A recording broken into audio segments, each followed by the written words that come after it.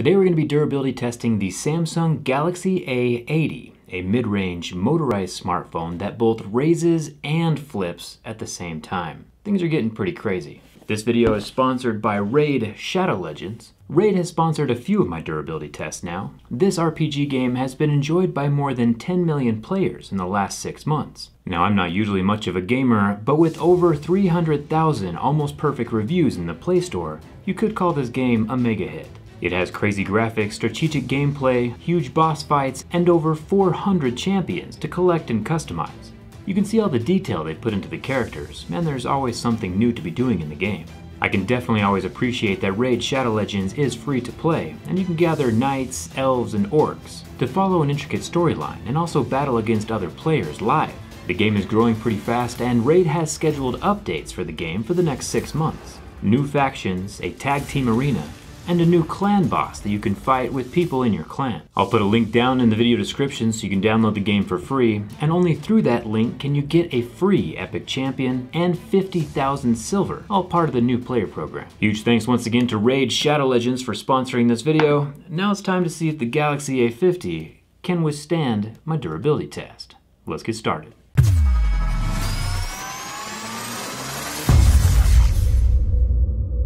Samsung says that the A80 is built for the era of live, since it has that ability to raise and flip the rear cameras over and around to the front, which lets the user then use the higher quality camera for selfie situations. The last rising camera phone I tested, the Oppo Find X, snapped in half and died, so it'll be interesting to see if this rising phone, with what looks like the same mechanism, will die as well. I have my doubts, but this peachy colored Angel Gold A80 seems to be full of confidence. Let's get started. If you insist. Right off the bat, the phone feels pretty heavy, and even without activating the camera, the top half of the phone can be manually slid up, but then retracts itself back into its shell automatically. We've seen quite a few mechanical pop-up cameras. Most have just a single lens that pops up like the OnePlus 7 Pro. Some have a pizza slice like the Oppo Reno, or a flip around camera like the Zenfone 6. This A80 though could be the most complex version we've seen yet, with both a rising feature and a spin around motion that both activate simultaneously. It rotates all three rear cameras around to the front in one fluid motion. Technology is pretty cool. Analyzing that little flipperoo mechanism from the inside is going to be super interesting.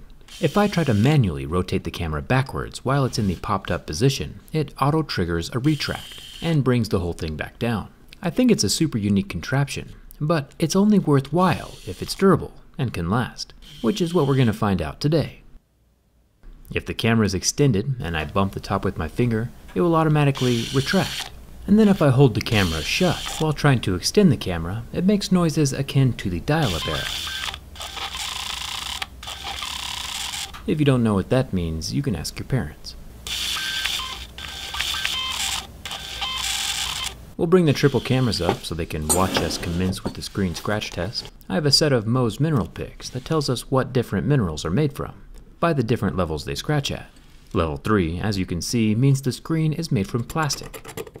In this case, we're talking about the pre-installed screen protector.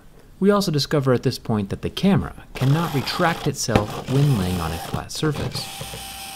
I assume it's because the flipping and rising motion are all attached to a singular motor, and if the camera can't do its flippy thing, then the top can't retract. Interesting. Trying to extend the camera on a flat surface, and we get the same results. No flippy means no extendy.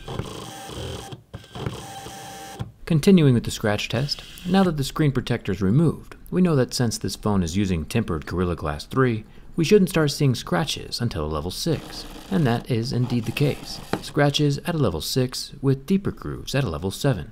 Pretty normal. Keys, coins, and razor blades won't do any damage to the surface of the screen. The display does look pretty awesome though. No notch and barely any bezels. Even the earpiece looks like it's completely gone, just like we saw with the Note 10. I'll pop up the mechanical camera with its 8 megapixel ultra wide camera on the left the 48 megapixel main camera in the center, and the 3D depth camera on the right side, next to that single LED flash. The surface of the camera is made from glass. No scratches are made with my razor blade. The cool thing to do on a lot of phones these days is to add an underscreen fingerprint scanner, and the A80 is no different. With an on-screen fingerprint scanner down near the bottom of the phone, I'll take my level 7 grooves and scratch up the surface of the glass after my fingerprint is set, to simulate years worth of heavy abuse. And it looks like even with all that extra damage, the Galaxy A80 is still able to recognize that fingerprint and unlock the phone pretty much every single time.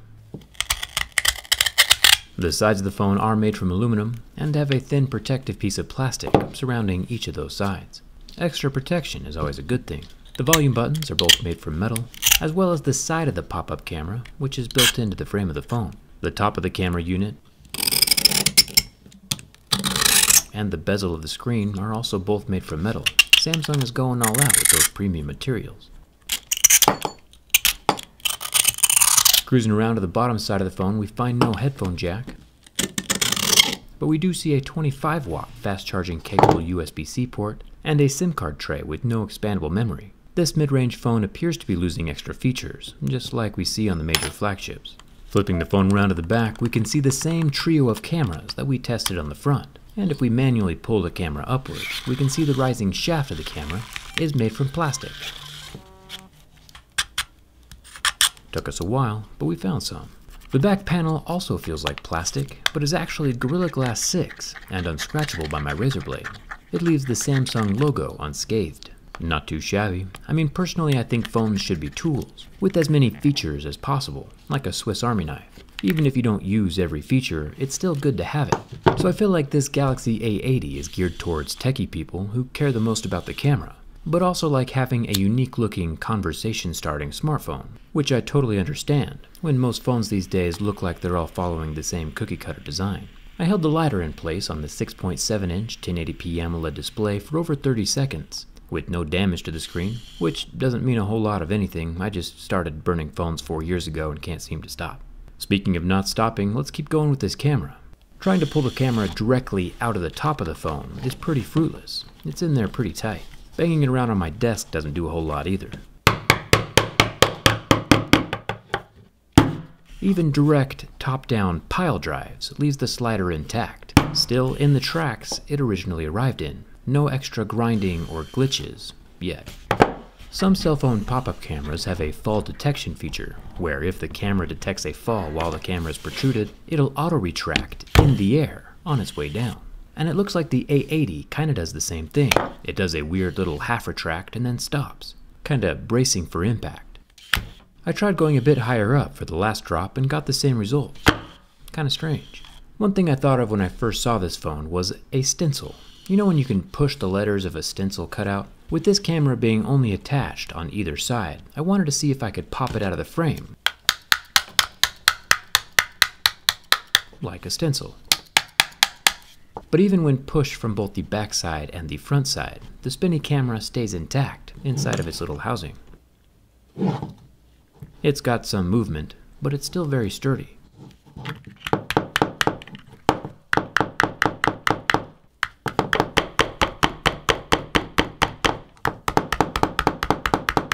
I imagine that other things on this phone will start breaking before the camera mechanism does. Even after all this abuse, being forced in and held out against its will, the camera is still moving strong, with no grinding noises, complaints, or other weird noises. I'm impressed. Remember though that the Oppo Find X, which has the same slide up top design that this phone does, completely died during my bend test. The frame of the Oppo Find X was too flexy for the screen to handle, and the screen broke completely. So let's hope this sliding A80 is a bit stronger. With the first flex from the back, we don't get a whole lot of movement, just a very minor back panel separation. Bending from the front, though, is a whole different story. The back panel is nowhere near contributing to the structural integrity. It leaves the phone frame to fend for itself. Even with that major flex, the display appears to be intact still. The back panel is doing nothing to help the phone stay solid, but also nothing is permanently breaking. At least now we know where to start for that teardown video. Overall, I'm a fan of companies trying new things, so thumbs up to Samsung for coming up with a unique motorized camera design all of their own and making it sturdy enough to survive my durability test. We'll be taking this Galaxy A80 apart to review it from the inside, so hit that subscribe button and let me know in the comments what pop-up camera, if any, you like the most. We've reviewed quite a few. Come hang out with me on Instagram and Twitter, and thanks a ton for watching. I'll see you around.